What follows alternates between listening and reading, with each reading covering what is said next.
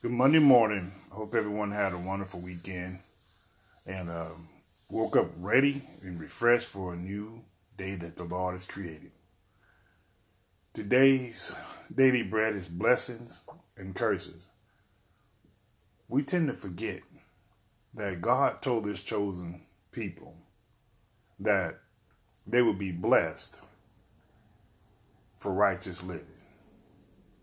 But he also told them, read Daniel, read in Daniel, it'll tell you. He also told them that they'll be cursed if they didn't. So the answer to the question, why do things happen to people, is because the way that we live. We're the ones that dictate what God does by our actions our lack of actions.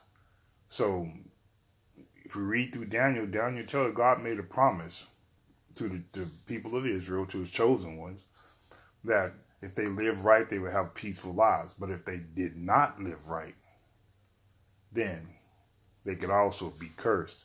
So we need to make sure that this is why um, it's important, first of all, to read and to ask for understanding, wisdom, and knowledge, because discernment, um, because if we don't understand what the Word of God, then how can we apply it to our lives? And this is why you see blessings and curses, is because God, in Daniel, in the book of Daniel, read through it, he made promises that if you live a righteous life, you'll have a peaceful life. But if you don't, then you'll be cursed. So Daniel made an appeal and said that this is going to reflect on you. This will reflect on you, God. So this is why God sent Gabriel. And Gabriel had to fight to give the word. Read it. I'm not making this up. Read it for yourself. And it, it, it's a wonderful thing when you read. When you read the Bible and you, you ask God for understanding, you can understand what he's saying. It is very, very powerful and it's things that well we wonder why why is this happening? Why is this happening? Well let's let's get a mirror let's look at that mirror and let's say what am i doing wrong?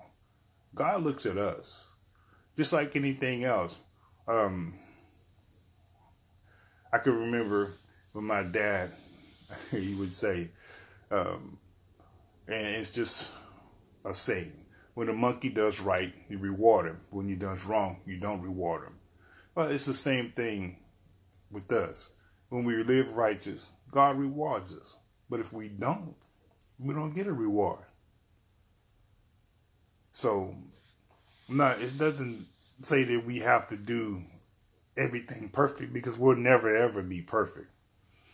But it doesn't say that we shouldn't stop trying to be perfect. Blessing and curses. God bless you every second, every minute, every hour of every day. God bless you, my brother. Good to see you.